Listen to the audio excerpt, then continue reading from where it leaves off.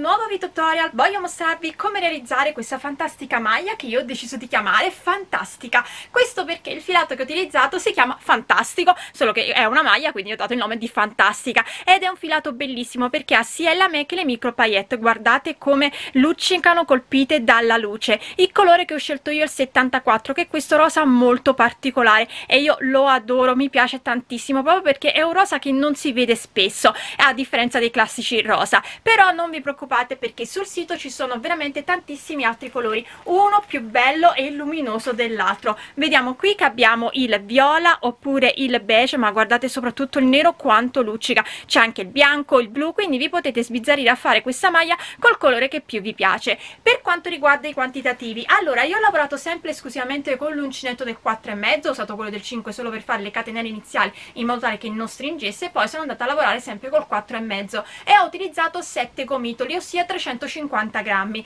Ora per una taglia M ve ne occorrono 8, eh, 400 grammi quindi 8 gomitoli. Questo perché in realtà io dell'ultimo gomitolo ne ho utilizzato veramente poco. Ho dovuto fare questo pezzo qui dell'ultima manica quindi se siete una taglia M va benissimo 8 eh, gomitoli. Questo però se la volete come la mia se la volete un po' più morbida addosso quindi meno aderente allora in quel caso andate a prendere 9 gomitoli. Taglia L vi occorrono 450 grammi 500 grammi se la volete comunque più larga larga rispetto alla mia taglia XL vi consiglio 550 grammi. Per quanto riguarda la lavorazione è semplicissima. Sono due giri che si ripetono per fare il corpo della maglia e abbiamo questo eh, motivo molto particolare che sembra eh, un giro di ventaglio un giro di maglie alte ma il secondo giro in realtà riserva una piccola sorpresa. Mentre per quanto riguarda la parte sopra e le maniche sono andata a fare dei semplici giri di ventaglio perché volevo appunto la parte più sopra più forata rispetto a quella di sotto in modo da poter utilizzare questo maglioncino anche nei locali dove fa più caldo perché mettono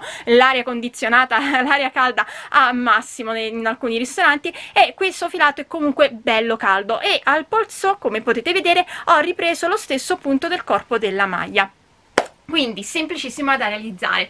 Detto ciò spero che desideriate realizzarla. Se è così come sempre mi raccomando mandatemi le vostre foto o sulla mia pagina facebook Uncinettando con Elsa o sul, sul gruppo di facebook La Libertà di Uncinettare e Sferuzzare oppure potete attaccarmi su Instagram dove mi troverete come Elsa Faccio o Filati Elsa. E noi come sempre ci vediamo poi al prossimo video tutorial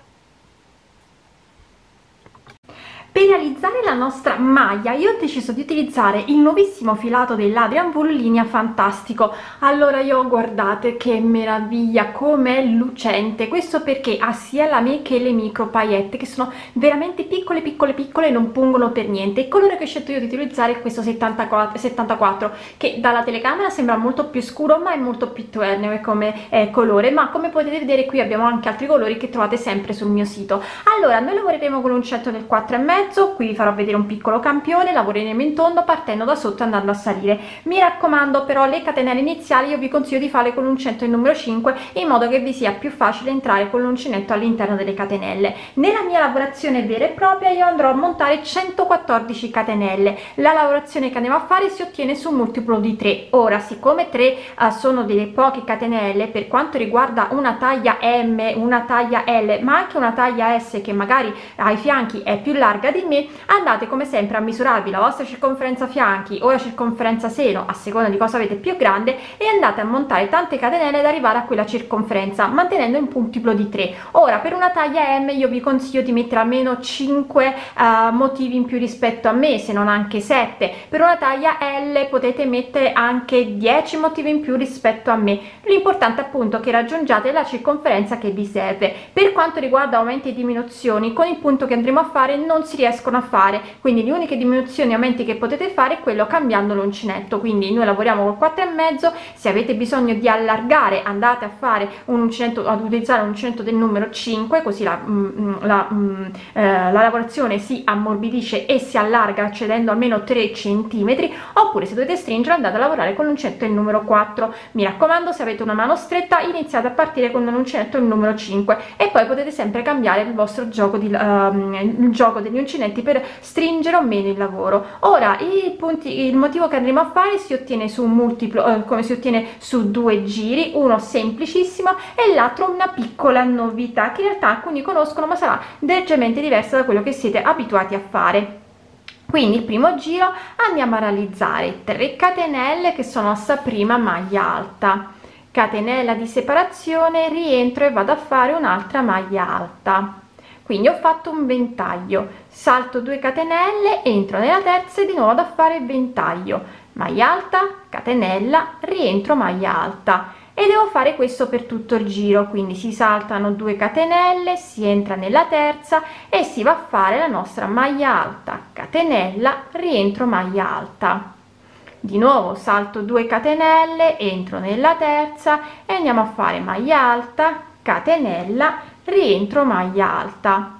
E devo fare questo per tutto il giro. Vi farò vedere appunto come terminare il giro e come iniziare a fare poi il secondo giro. Quindi sto terminando il primo giro entro nella seconda nella terza catenella che equivaleva la mia prima maglia alta e vado a fare una maglia bassissima. Secondo giro entro nell'archetto e vado a fare una maglia bassa 2 catenelle prendo il filo rientro nello stesso archetto e vado a fare due maglie alte non chiuse una e due e le chiudo insieme e si ricomincia da capo. Quindi vado nell'archetto del ventaglio successivo e realizzo una maglia alta 2 catenelle rientro e vado a fare due maglie alte non chiuse una e due e le chiudo insieme. E ricominciamo. Archetto successivo maglia bassa 2 catenelle rientro 2 maglie alte non chiuse una 2 e le chiudo insieme. Devo fare questo per tutto il giro. Vado nell'archetto maglia bassa 2 catenelle prendo il filo 2 maglie alte non chiuse una 2 e chiudo insieme. E devo fare questo per tutto il mio secondo giro. Poi vi farò vedere come chiudere e come riniziare il primo giro siccome abbiamo una maglia una base diversa rispetto alle catenelle iniziali. Sto terminando il secondo giro ho fatto le due maglie alte chiuse insieme entro nella maglia bassa iniziale e vado a fare una maglia bassissima. E ricominciamo dal primo giro. Quindi andiamo a fare 3 catenelle che sono sta prima maglia alta catenella di separazione rientriamo andiamo a fare una maglia alta.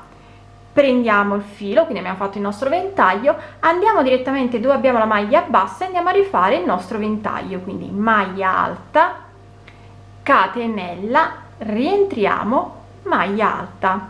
E andiamo così per tutto il nostro primo giro. Quindi andiamo dove abbiamo la maglia bassa maglia alta catenella rientriamo maglia alta.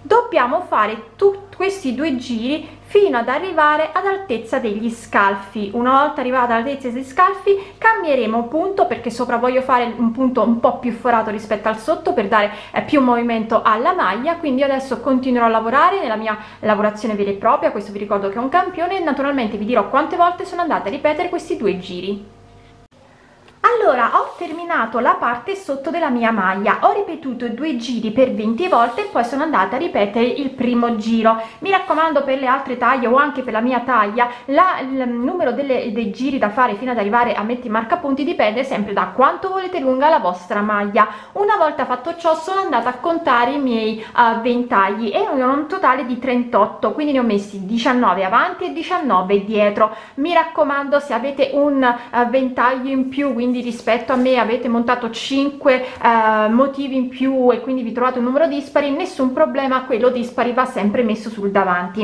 Altra cosa che adesso vi dico è che andremo a cambiare il punto quindi da sopra al seno fino alle spalle dove abbiamo appunto il nostro scalfo per poter fare gli scalfi andremo a cambiare il punto e eh, faremo un punto un po più forato questo per dare un po più di movimento alla maglia. Mentre poi quando andremo a realizzare le maniche eh, penso che andrò a fare lo stesso stesso motivo che ho fatto per il corpo della maglia un po' come una vecchia maglia che facemmo anni fa che era la My Lady. Quindi come dicevo io cambio um, um, um, motivo ma in realtà quello che vado a fare sono semplici giri di ventaglio. Quindi io entro nel mio, nel mio archetto del ventaglio vado a fare una maglia bassa e due catenelle che sono la prima maglia alta catenella di separazione rientro un'altra maglia. E poi vado a fare il mio ventaglio quindi maglia alta catenella rientro maglia alta archetto successivo di nuovo andiamo a fare il nostro ventaglio. E continuo così per tutto il giro. E poi si ripete da, da capo quindi di nuovo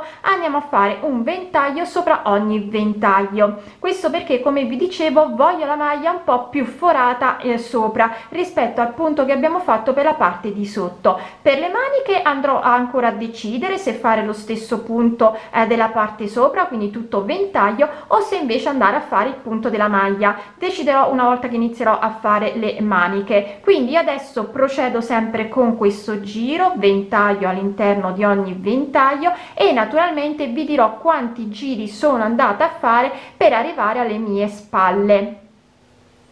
Quindi niente di più complicato ventaglio sopra il ventaglio e quando giriamo la lavorazione di nuovo ventaglio sopra ventaglio ho terminato la parte di sopra della maglia ho ripetuto il giro 11 volte però per la parte avanti nell'ultimo giro sono andata a fare soltanto 5 ventagli a sinistra e 5 a destra. Questo per avere uno scollo un po più largo quindi non troppo tirato ma un po tondino mettiamola così. Ho fatto un giro. Se voi volete uno scollo ancora più largo mi raccomando fate più di un giro. Quindi direi fate almeno due giri per averlo un po lo scollo più largo. E naturalmente le altre taglie rispetto a me. Se io ho fatto 11 giri taglia taglia M dovete andare a fare almeno 13-14 giri. Tenete presente che io con 11 giri ho del, uno scalfo di 14 centimetri e mezzo. Dietro invece sono andata a fare tutti gli 11 giri lavorando sempre da destra a sinistra senza fare um, la micro spallina ma volendo se non volete allargare troppo avanti ma volete allargarlo anche un po dietro fate anche dietro l'ultimo giro soltanto sui 5 ventagli.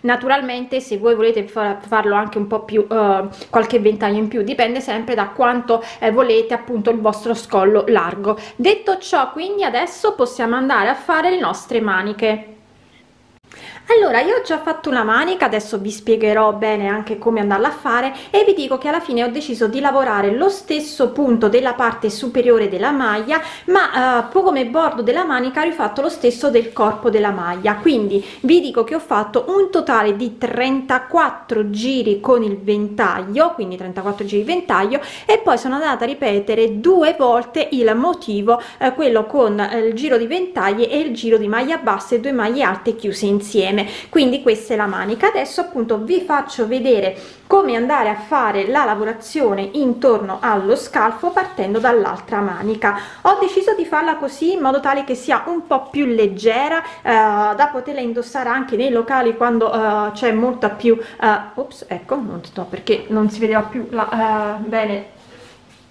la telecamera dicevo quando comunque si sta in quei locali dove c'è molta aria condizionata e quindi fa più caldo e quindi sotto possiamo mettere un top leggero e stare bene perché comunque questo è un filato bello caldo. Allora io mi aggancio sotto qui dove ho messo il marcapunti e vado a fare le mie 3 catenelle che sono la prima maglia alta catenella di separazione e rientro un'altra maglia alta e vado a lavorare. Vado dove ho la maglia la maglia verticale e vado orizzontale vado a fare un altro ventaglio quindi maglia alta catenella rientro maglia alta. Salto una maglia vado qui nel forellino e vado di nuovo a fare ventaglio. Maglia alta catenella rientro maglia alta. A questo punto salto la maglia orizzontale vado in quella successiva e di nuovo vado a fare il mio ventaglio e procedo così quindi per tutto il giro. Adesso salto la maglia alta orizzontale entro nel forellino e vado a fare la mia maglia il mio ventaglio salto la maglia alta orizzontale entro nella successiva e vado a fare il mio ventaglio.